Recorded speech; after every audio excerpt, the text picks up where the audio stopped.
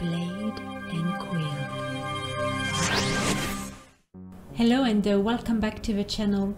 Last week uh, we created this uh, short animation. Today I am going to show you how to color it and export it as a GIF file.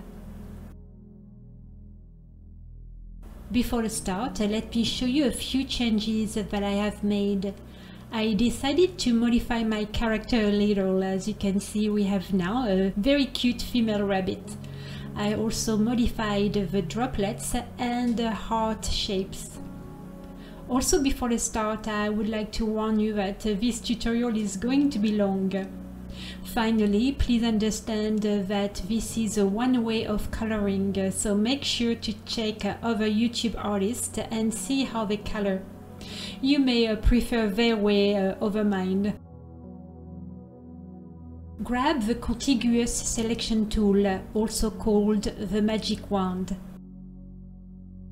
When you click on it, a new set of actions appear in the tool options docker. By default, the tool is set to replace. Click on the button Add instead. This will allow you to make multiple selections. Check the box Anti-aliasing. In the drop-down menu, choose All Layers. Leave the fuzziness alone. In the Grow Shrink selection window, increase the value to 1 pixel. And we are done. We have calibrated our wand. We can start working.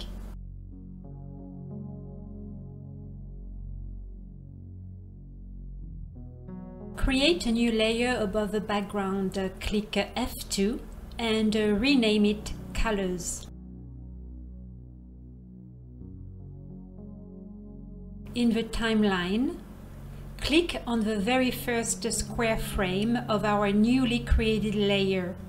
Now right click and choose Create Blank Frame. Grab the magic wand. Zoom in as needed. And with a tool, select all the body parts that you want to paint.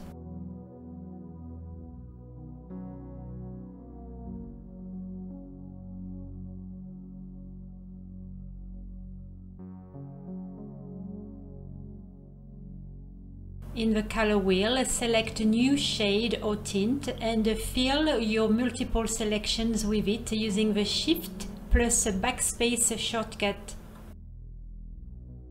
To undo your selections, hit Ctrl Shift plus A. Repeat the process. Choose a new color. Select your areas and fill them with uh, that new color. Undo your selections and repeat again.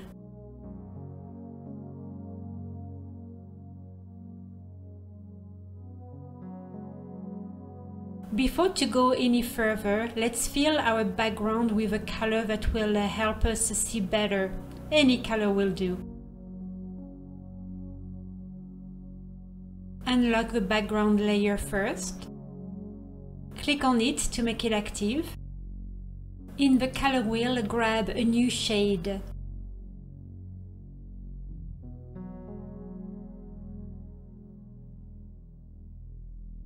Using our favorite shortcut, uh, fill the layer with a new color.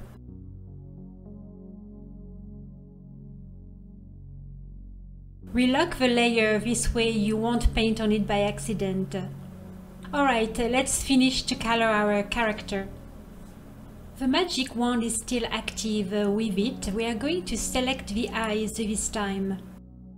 Let's uh, choose a white color. Oh, and by the way, uh, if you are still on the background layer, don't forget to get back to the colors layer. Now let's fill our new selections. Time to use a brush, uh, let's grab it. In the brush smoothing window, we are going to choose a none. Make sure that the pen pressure is turned off. Change the size as needed and uh, we are going to start filling the small areas uh, with uh, our white color. Hit the control key on your keyboard to pick up a color. In the color wheel, darken the color you just picked and uh, with that new uh, shade we are going to paint uh, the eyelids.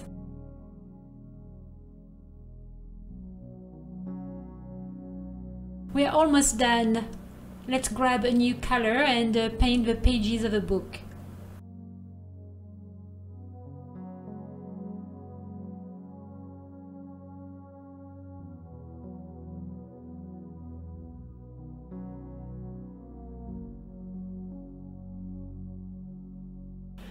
We are done. We have painted our first frame. Back to the timeline. We are going to click on the next square frame. Right click and this time select Create Duplicate Frame. We are going to fill all the spaces that miss color or that need corrections. Just remember to use the control key on your keyboard to pick up the colors that you need and then work.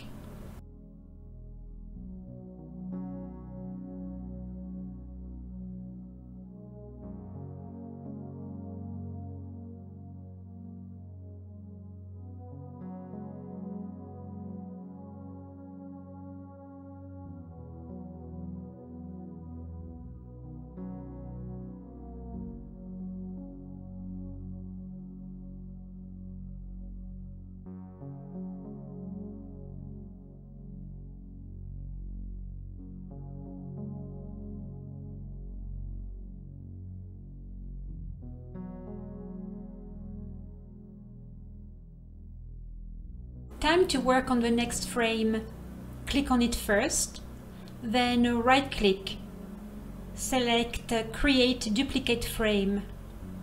On this frame, we only need to paint the droplets, so grab the magic wand and fill them with a color of your choice.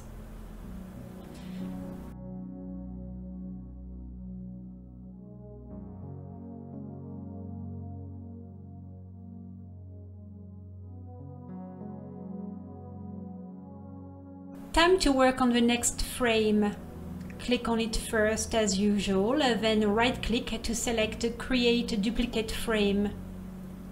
As you can see here, the droplets have moved, but the paint did not follow. So we are going to need to correct that. Grab the paint brush, turn on the eraser, increase the size as needed and remove all the blue paint. Now turn off the eraser and using the magic wand select all the droplets as you did before and fill them with a blue color. Repeat the same process for all the remaining frames.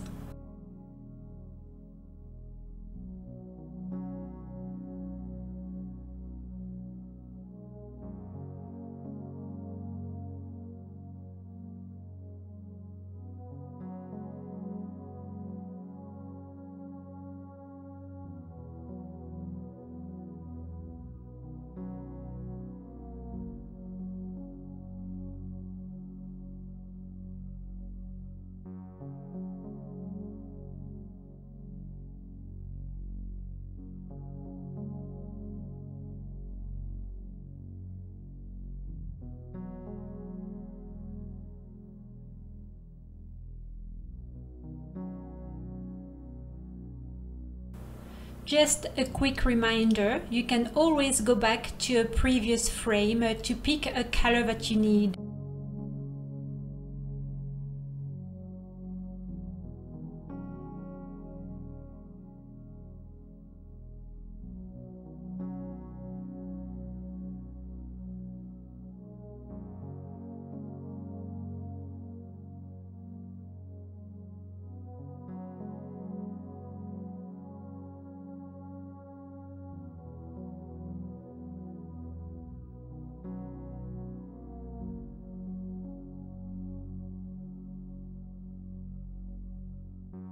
Alright, we have reached the last frame.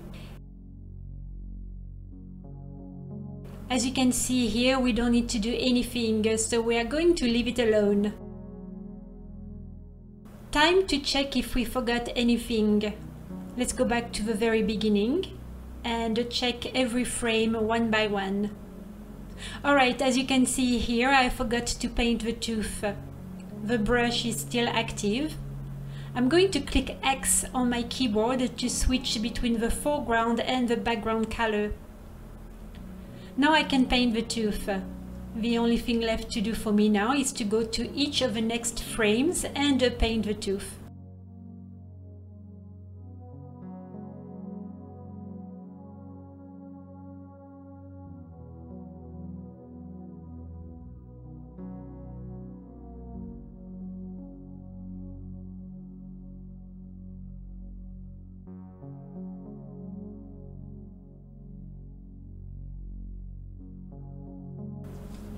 If you turn off the colors layer, you will obviously only see the line art.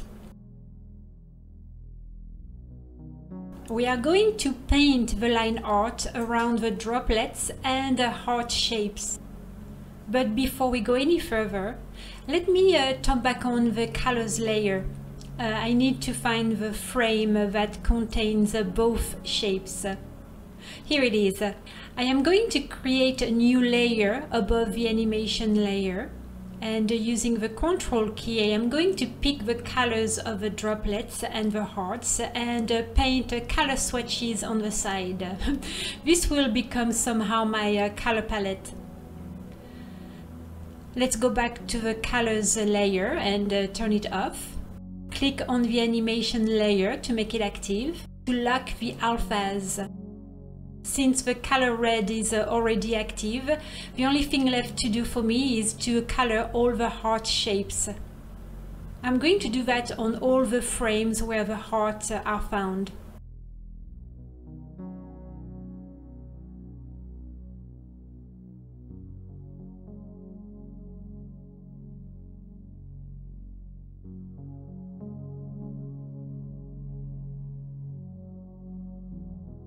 Time to pick the color uh, of the droplets.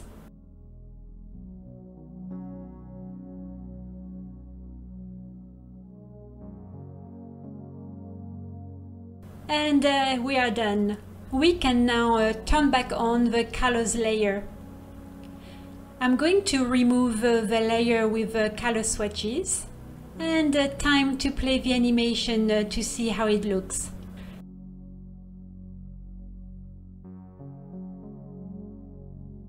Now that we are done, we can unlock the background and test new colors.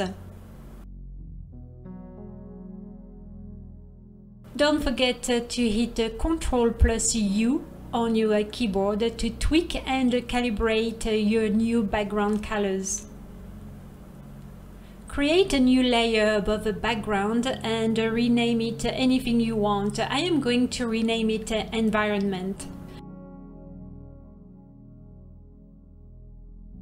Grab a brush of your choice uh, and start drawing.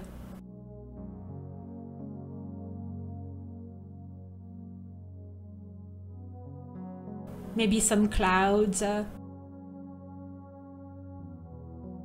maybe a flower.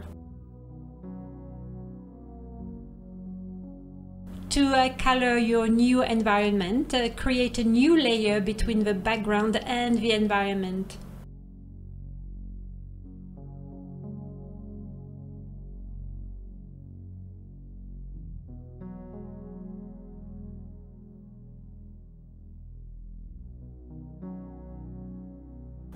And you are done.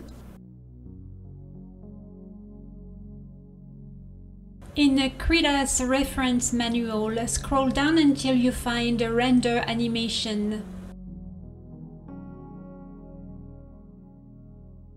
Click on it to open the page. In the render animation page, Scroll down until you find the instructions to download the free open source software called FFmpeg, which is going to help us process our short video. Click on this blue link called download page. it will take us to this build page. We need to find the latest release and we also need to make sure that we click on the zip file.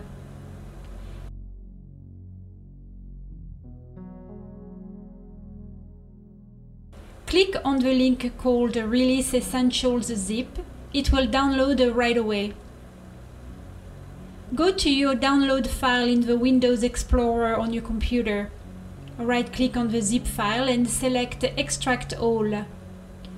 In the new window, click on Browse to find a new location for the program that you have just downloaded and when done, click on the button Extract. When the file is fully extracted, double click on it to open it. Double click on the bin. Here is the exe file that we will need uh, in a few seconds. Back in Krita, go to File and choose a Render Animation. Make sure that you are in the video section of the Render Animations window. Click on this file folder to find the coding program we just downloaded. Find your file. Open the bin and uh, select the exe file.